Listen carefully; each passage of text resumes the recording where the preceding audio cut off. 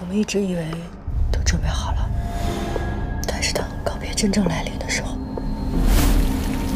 却永远是那么突然。我的人生已经被毁了，不能赢回了，更不愿意放弃。你能不能告诉我当年发生什么事啊？你要是告诉我了，你就不用过得像现在这样。我知道这么多年你也挺委屈的，口口声声说绝望了，这是得爱得多深沉才能这么卑微啊？爱情，你没资格骂我。你就不配他妈谈爱情？怎么回事？这么多年你你你走不出来了吗？你爸在天上看着呢。自己做过的事情你不会忘了吧？那我就搞不懂了，放着好日子你不过，我的好日子早就没了。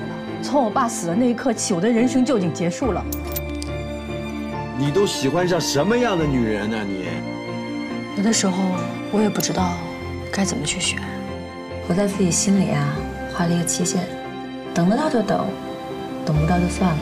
但是聂雨生不一样，他对你是没有期限的。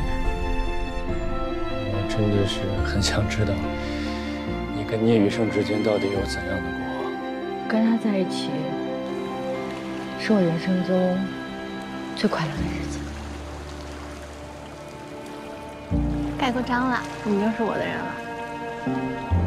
这件事，我只告诉过一个人。